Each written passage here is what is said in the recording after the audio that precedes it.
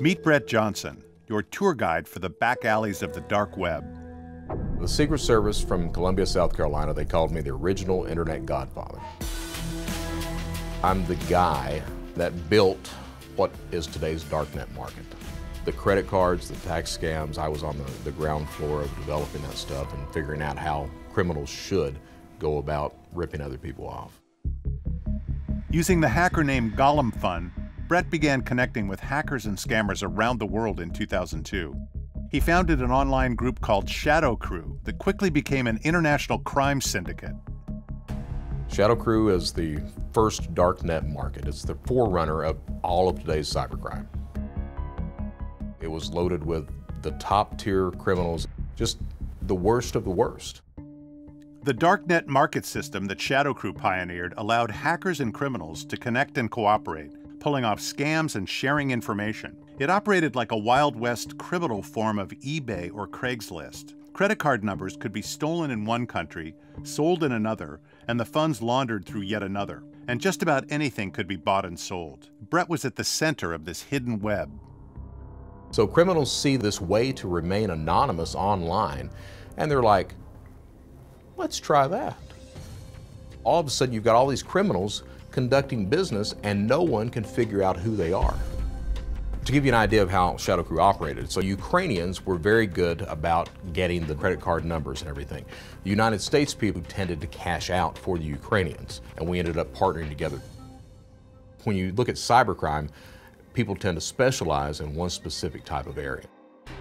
But eventually, the U.S. government's Operation Firewall brought down Shadow Crew federal agents had arrested a member named CumbaJohnny for credit card theft.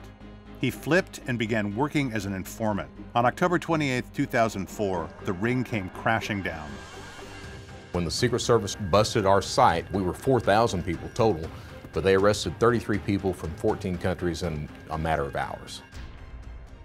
Actually, I didn't go to jail immediately. Uh, the Secret Service offered me a job. So, idiot here takes the job, and starts breaking the law while working for the Secret Service, sometimes from within their offices. Once they find out I'm ripping them off, I take off on a cross-country run and I steal over $400,000 out of ATMs. I get placed on the United States Most Wanted list, get caught, get sent to prison. I escape from prison, get caught, and finally get sent to prison. When I got out, couldn't get a job, couldn't do anything else, and I went back to my old ways. I victimized everybody. I hurt uh, friends, family, people I didn't know. I was fortunate enough by that point in time, the woman who would be my wife, she had found me and she ends up saving me. If you're looking at the origins of credit theft, stolen credit cards. Today, after seven and a half years in prison, including hard time in Texas and eight months in solitary, Brett is no longer Gollum Fun and has found a new career as a cybercrime consultant, author, and educator. He gives presentations and seminars around the world, including to our AARP fraud fighter volunteers in Seattle. Brett credits the FBI and Secret Service agents who brought him down and put him behind bars with helping him find purpose in developing new ways to fight dark web crimes.